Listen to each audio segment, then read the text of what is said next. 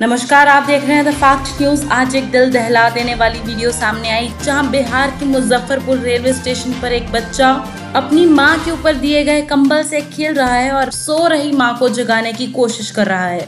पर वो इस बात से अज्ञात है कि ज़मीन पर पड़ी उसकी माँ की मौत हो चुकी है और अब वो इस दुनिया में नहीं रही। ये वीडियो रेलवे प्रशासन पर कई सवाल खड़े करती है, क्योंकि बताया जा रहा है कि इस औरत की मौत चार दिन के ट्रेन सफ़र में कुछ खाने पीने को ना मिलने से हुई है।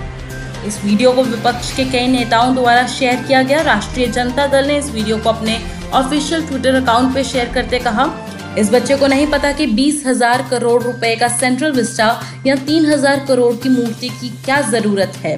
ये भी नहीं पता कि लॉकडाउन के पूर्व सूचना देने में और मजदूरों के बारे में सोचने में किसी बड़े साहिब को क्या आपत्ति थी।